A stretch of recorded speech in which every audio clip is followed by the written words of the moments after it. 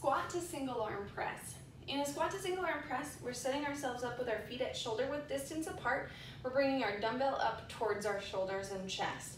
Palm is facing in towards the body. Now, as we set our hips back, we're thinking about a squat, so we're gonna focus on squeezing our glutes, pressing our knees out just a little bit, lower down into your movement. On the way up, it's two things at once. We're coming up with our body, we raise our dumbbell up and overhead, palm now faces straight forward, come back down towards your shoulders and chest, lower down, squat, press, base position, squat, press, base position.